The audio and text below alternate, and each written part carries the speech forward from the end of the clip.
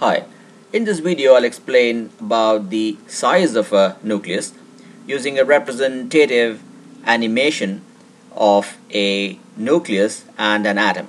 You can see an electron that's orbiting uh, on the periphery of an atom and at the center of the atom you can see a nucleus comprising of one proton shown in red color and there's a positive uh, sign on it and there are three neutrons of uh, yellowish color and all of these things the proton and neutrons are rotating about some axis. That's a spin and angular momentum. That's a different subject. We're talking about size here in this particular video. Now nobody has actually seen a nucleus. Now indirect experiments by scientists gave an equation r or the radius of a nucleus is equal to r0 into a to the power 1 by 3 now, r0 is a constant 1.1 into 10 to the power minus 13 meters. It's a very, very small number. And A is the mass number of the nucleus.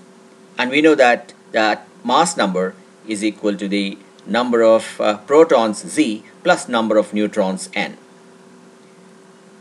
So therefore it's logical that the radius of a nucleus is proportional to the mass number to the power 1 by 3.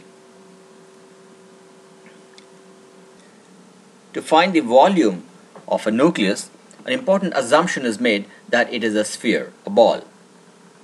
It's also assumed that protons and neutrons are spheres. This assumption was made to make things easy, although in real life nobody has actually seen any of these things through the most powerful telescope. So with the assumption of a sphere, V is 4 by 3 pi r cubed, substitute for r as r0 a to the power 1 by 3 whole cubed then you get 4 by 3 pi into r0 whole cubed and inside the brackets a to the power 1 by 3 whole cube becomes just a. Now r0 is a constant so basically the volume V becomes proportional to a and that's logical.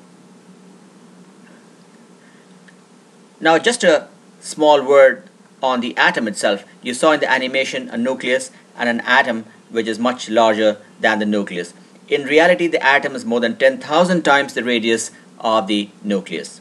Now that means that there is a lot of empty space between the central nucleus and the outer periphery of the atom. That's true and even in the alpha uh, scattering experiment you might have seen that most of the alpha particles that bombarded atoms just went through the atoms without any deviation and only a few particles got deviated when they hit the small nucleus at the center of a very large atom.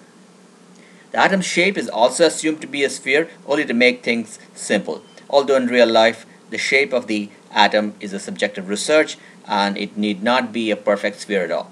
I hope this video was useful to you. Thanks and have a great day.